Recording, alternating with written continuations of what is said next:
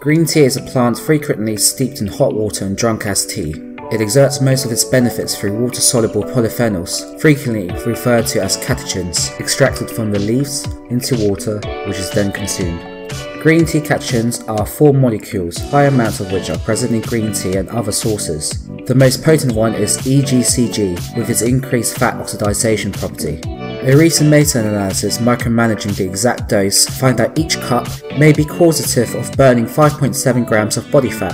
When looking at longer term studies and fat loss overall, green tea catechins are associated with 1.2 kilogram weight loss in 90 days at 886 milligrams, which is 3.5 cups daily.